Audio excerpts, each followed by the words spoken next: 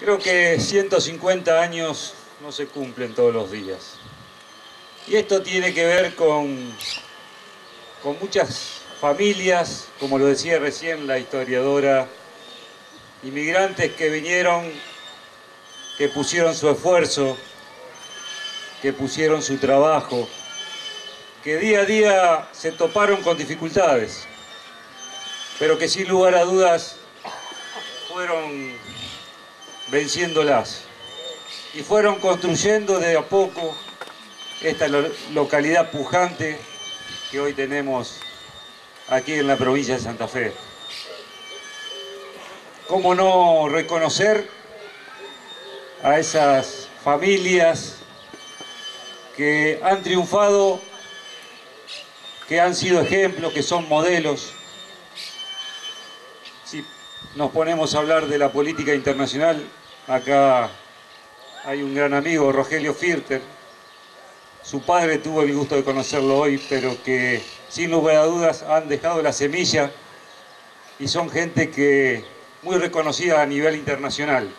Con él tuve la posibilidad y el honor de escucharlo y de debatir y de analizar la política internacional, por supuesto yo aprendiendo de él, obviamente una, persona con todas las letras, de gran capacidad. Como no también reconocer a, aquellos que han llevado la cultura, la pintura, como Bulifero Tántera, a Juan Kuklevich, una persona con la cual hemos trabajado muchísimo. En el deporte, Antonella Fortuna, que ha triunfado bueno, son los ejemplos de, las personas, de las familias, porque detrás de cada una de esas personas que ha triunfado hay una familia que ha hecho lo posible para que sean reconocidos. Y muchos más que seguramente están en el anonimato, pero que sin lugar a dudas ha puesto su granito de arena para que esta localidad sea lo que es. Quiero en este momento, además de reconocer a todos los que fueron presidentes comunales, a todos los que integraron la Comisión Comunal de G, a tres personas que fueron con las cuales yo he trabajado muchísimo y he aprendido mucho de ellos. A Bartolo Giacosa, que ahora apasionado por la fotografía, a Juan Vigliani, también una persona que ha trabajado mucho por su localidad, y por supuesto a Juan Pablo Alarcón, también un presidente comunal de mucho diálogo, más allá de las diferencias.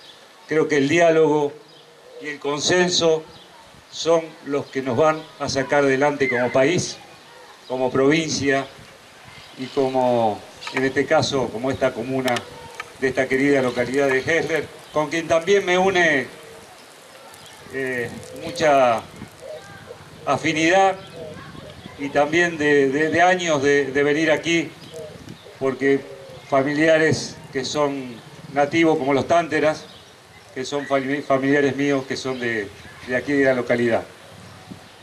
Un gusto enorme, la verdad que a cada uno de los que hicieron posible esto, a la gente de la comisión comunal, a la gente de la comisión de festejos, a todos por brindar este evento porque es importante y porque son importantes los 150 años. Por muchos 150 años más, querida localidad de Gel. Feliz cumpleaños.